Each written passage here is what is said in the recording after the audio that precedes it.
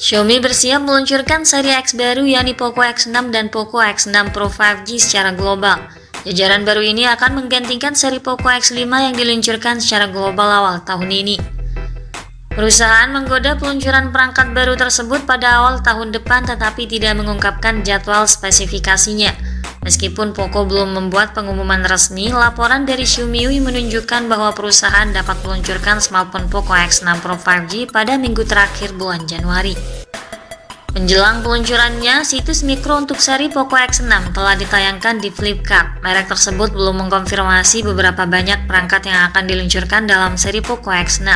Tetapi sebuah laporan menunjukkan bahwa Poco X6 Pro akan menjadi smartphone pertama dari jajaran tersebut yang menjangkau India. Rumor tersebut semakin diperkuat dengan fakta bahwa Poco X6 Pro juga telah muncul di banyak situs sertifikasi seperti TDRA UIA, FCC, NBTC, IMEI, IMDA, dan BIS. Daftar TDRA Poco X6 Pro 5G mengkonfirmasi peluncuran smartphone yang akan datang, namun hampir tidak ada informasi mengenai spesifikasi atau fitur perangkat. Di sisi lain, daftar FCC mengungkapkan beberapa detail menarik. Daftar mengkonfirmasi bahwa smartphone tersebut menjalankan HyperOS 1.0.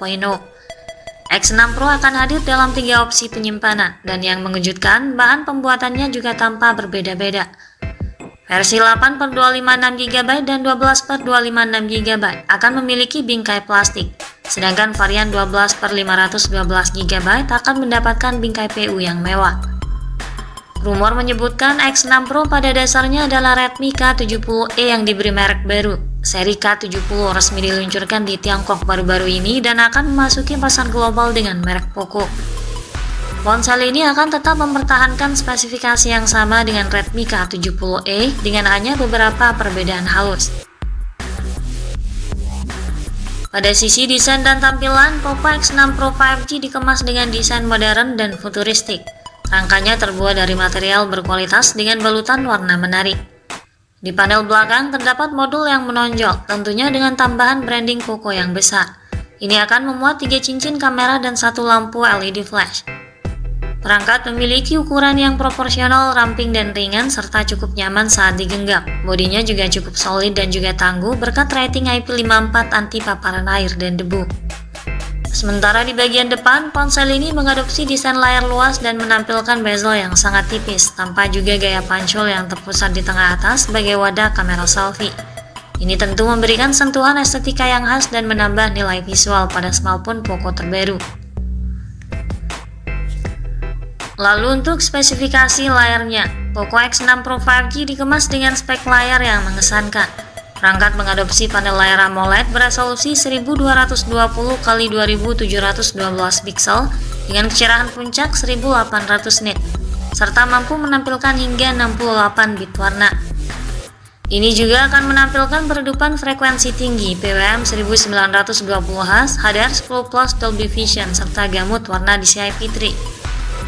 Layarnya berdiagonal 6,67 inci dengan rasio jarak layar ke bodi 90,1%. Pergerakan layarnya tentu sangat halus dan responsif serta tampak lebih atraktif berkat refresh rate tinggi 120 Hz.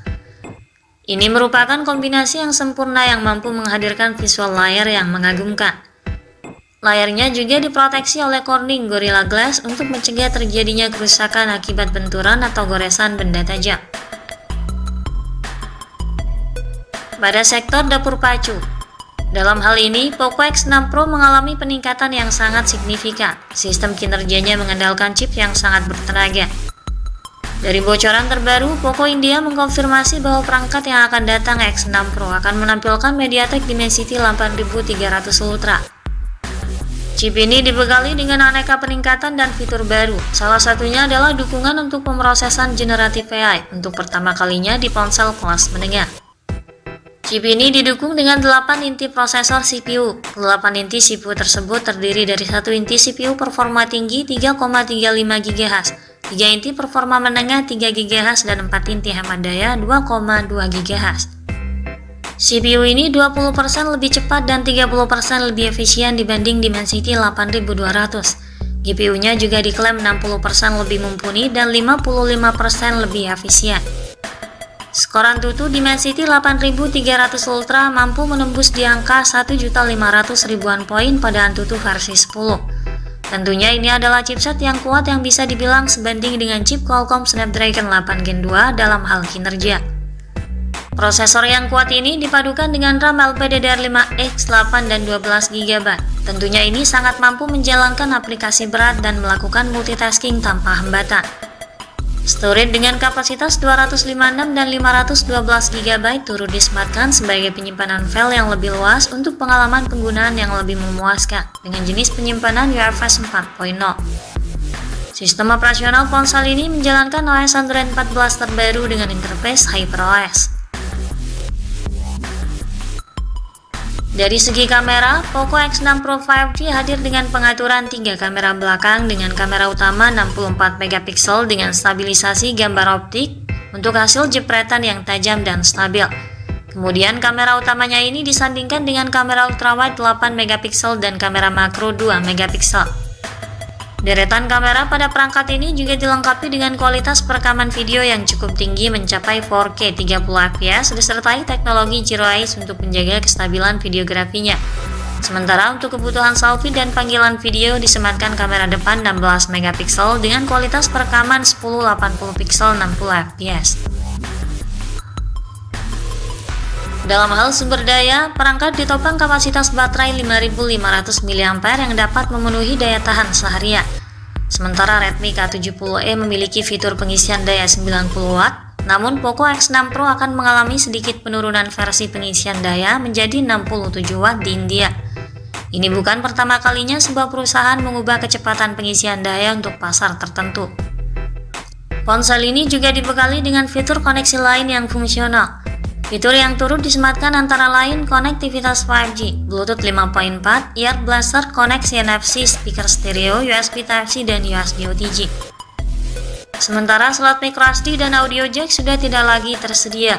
Untuk sistem keamanannya, kemungkinan ini akan dilengkapi dengan sensor sidik jari dalam layar dalam hal penggunaan yang lebih nyaman dan lebih modern. Untuk harga dan ketersediaannya, Mengacu pada pasar Tiongkok, Redmi K70e diluncurkan dengan harga mulai 1999 yuan untuk varian 12 per 256 GB atau setara dengan 280 dolar.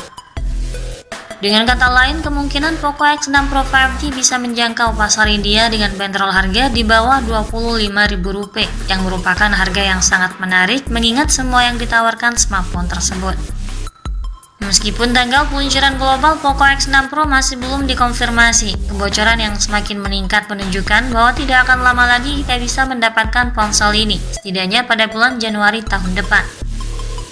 Mengingat spesifikasi yang ditanamkan, Poco X6 Pro 5G akan lebih meningkat jauh jika dibandingkan pendahulunya Poco X5 Pro dengan chip Snapdragon 778G. Karena meskipun merupakan chipset yang kuat, kinerjanya tertinggal dari MediaTek Dimensity 8300 Ultra. Belum lagi aspek lainnya yang juga tak kalah bagus. Ini merupakan penawaran yang sangat menggiurkan dan tentunya akan menjadi pesaing tangguh di level menengah terjangkau. Sekian dulu dari kami kali ini. Ikuti terus kabar berikutnya guna memperoleh informasi terbaru yang lebih akurat terkait harga dan spesifikasi Poco X6 Pro 5G hingga waktu peluncurannya nanti. Jangan lupa klik like dan subscribe untuk mendukung perkembangan channel ini. Terima kasih sudah menyimak dan sampai jumpa lagi di video selanjutnya.